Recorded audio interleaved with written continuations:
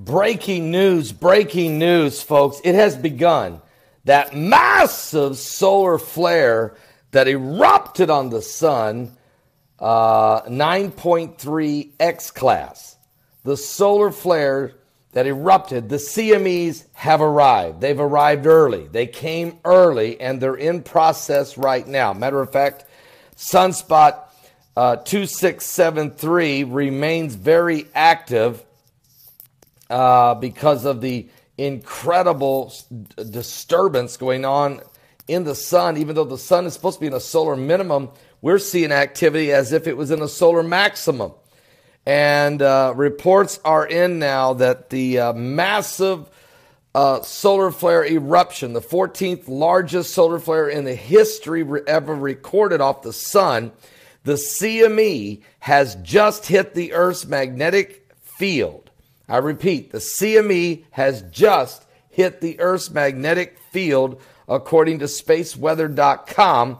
This is the debris from Wednesday's decade Class X 9.3 solar flare. Matter of fact, it arrived earlier than expected, and we are confirming there is a severe, I repeat, a severe G4 class geomagnetic storm in process as our planet's magnetic field reverberates from the impact of this. Expect a earthquake. Expect earthquakes. And we may see a big one. Matter of fact, uh, it's it's very concerning to me. Now the flare and also the flares continue there.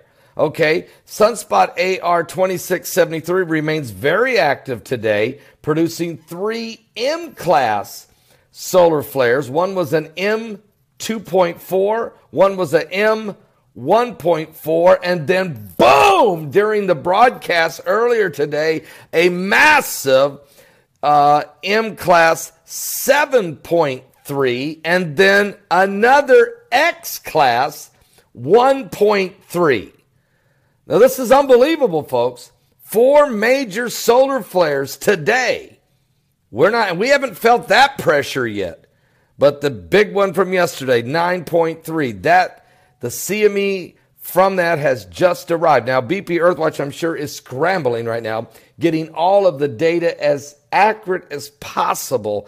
He is very concerned that a major earthquake could come from all of this pressure from these CMEs. And what does this mean? I'm saying to you that in the next 72 to 96 hours. In other words, in the next four days, we're on a high, high, high alert for a major earthquake. I know we're all going to be watching Hurricane Irma and what it's going to do.